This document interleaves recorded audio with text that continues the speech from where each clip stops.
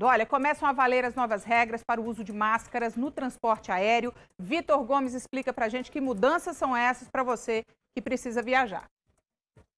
Olá, pois é, as medidas com mais rigor estão valendo a partir de hoje nos aeroportos especialmente a gente falando aqui do aeroporto de Brasília. Então atenção aí para o que você deve se preocupar, né?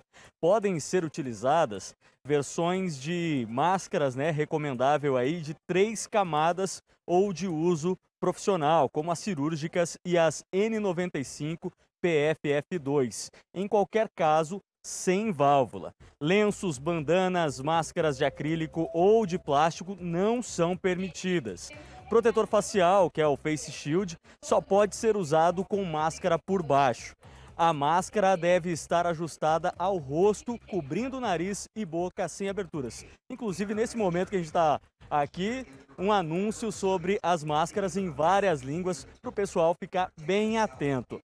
Olha, estão liberadas de usar máscaras apenas crianças menores de 3 anos e pessoas com deficiências, deficiências que impeçam o uso adequado da proteção. Então, todo rigor para esse momento e atenção, claro, pensando na segurança de todo mundo. Eu volto para o estúdio. Valeu, Vitor, pelas informações. Olha, bora